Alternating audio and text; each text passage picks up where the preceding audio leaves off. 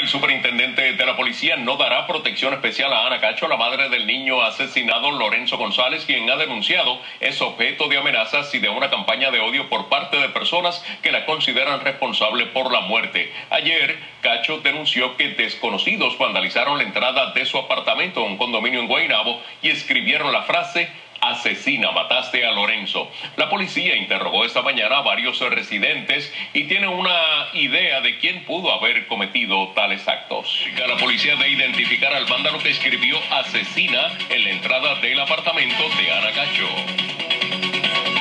Aparte, el superintendente de la policía no asignará protección especial a Ana Cacho, madre del niño asesinado Lorenzo González, quien ha denunciado es objeto de amenazas y de una campaña de odio por parte de personas que la consideran responsable por la muerte del menor. Ayer, Cacho denunció que desconocidos vandalizaron la entrada de su apartamento en un condominio en Guaynabo, escribiendo la frase asesina, mataste a Lorenzo. La policía interrogó esta mañana a varios residentes y al momento tienen una idea de quién pudo haber cometido los actos.